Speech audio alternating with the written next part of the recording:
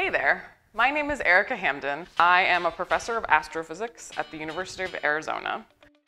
I love talking especially to young people about space and how to build their own telescopes and how to use telescopes to observe the amazing things that we can see out in the universe. And today I'm going to show you how to build a do-it-yourself telescope.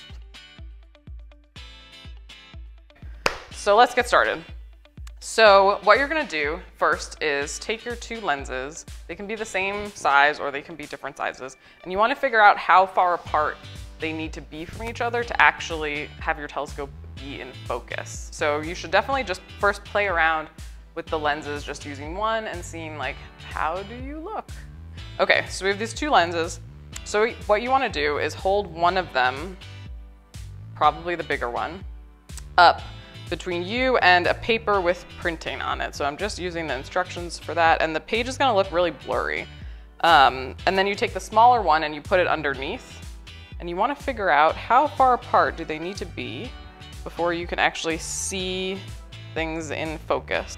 So once you have that distance, you need to now take your tube and you wanna secure your two lenses at roughly that same distance. This is a little bit tricky because you're gonna need to measure along the tube and then cut into it to be able to slot your lenses in. And my lenses are a little bit, um, a little bit tricky because this lens is smaller than the diameter of the tube. So if I just put it in, it's gonna fall all the way through. So what I'm gonna do instead is I'm gonna wrap the outside of it with this double-sided tape that I have, and that's gonna make it uh, more secure inside the, the barrel we put one lens in on the end, just like this. So I'm not gonna do that right away because for the other lens, what we're gonna need is to measure the distance and then make a note of where we wanna cut, and we're gonna cut a slot to slide that lens in.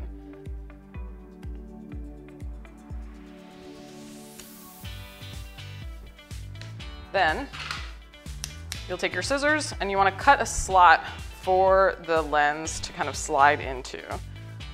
And one thing about building telescopes and like doing anything in general is that you should just try things out. So you're only dealing with, you know, cardboard tubes. If you mess up, you can get another tube, try it out again, um, and just see what works and what doesn't. And experimenting is all about, um, you know, just trying things out and not being too worried if they don't doesn't work the first time, then you try again. Because that's basically like all of science is just running experiments and seeing what works and what doesn't work my favorite thing to do. And slide it in, like that. And how did we do? All right, so you might have to adjust where your, the separation between your two lenses because you would have measured them and made a mark, but it's possible that as you're cutting things, it's not gonna work perfectly. So play around with it. Um, and then you have a beautiful telescope that you can use. You could also decorate your telescope. Um, with, let's do some stars. Since this is gonna be for looking at space, then I can use this for looking at whatever I want. I hope you enjoy this activity. And now let's check out some video from when I showed the GEM sisters a super cool telescope at the University of Arizona. Gem Sisters here, and this is Fast Forward Girls. I'm Giselle. I'm Evangeline. And I'm Mercedes. We're here at the University of Arizona in Tucson. It's a really nice day, and we're gonna learn about some awesome stars. Yes, we're learning about telescopes in outer space today. This is gonna be so awesome. Let's go. Yay!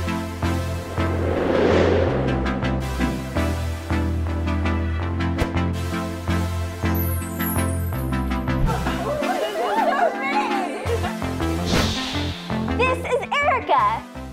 She's an astrophysicist and a professor here at Steward Observatory. Today we're going to be learning about telescopes just like this one. Do you use these? I actually build telescopes. What? what? How's that possible? it's the best job that you can have. So I build telescopes that either go into space or they go to the stratosphere. The type of light that I want to observe is ultraviolet and most of it is blocked by the atmosphere. Yeah. So we have to send them up into the stratosphere or put them in orbit in order to actually do the kind of astronomy that I want to do. That is insane. You're making something that's going into space. Yeah. Like that is so crazy. Like even though I've worked on a lot of this stuff for a really long time, I still like love it.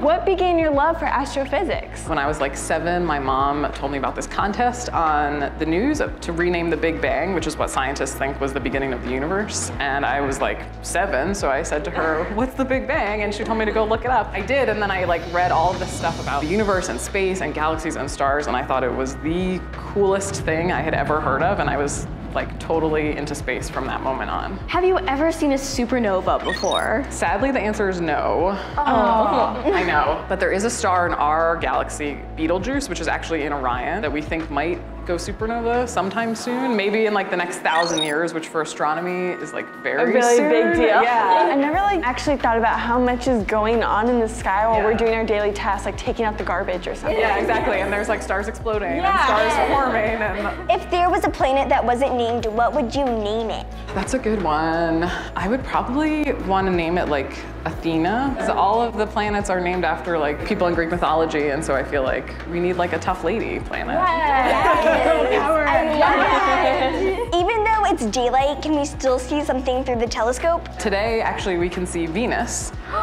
another planet. It actually has phases the same way that the moon has phases. So when you look at it, it won't look like a perfect circle. The same way that the moon can be like a little bit more than half full. We're gonna have to move the dome so that we can see where Venus is. Oh, it's moving. Oh,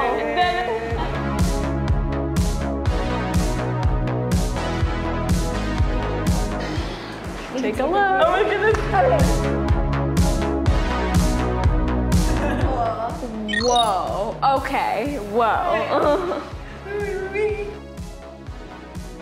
That is so cool. I can see a planet. I want to see that again. Oh Wait, you can see a planet? That's so cool. Thanks so much for watching this video. I hope you had a good time. I hope it inspires you to get curious about outer space and all of the super cool things that are in it. I also want to give a shout out to Lyda Hill's If Then initiative for all of their incredible support. And last but not least, make sure to subscribe to the GoldieBlox YouTube channel for more great videos like this. I'll see you around.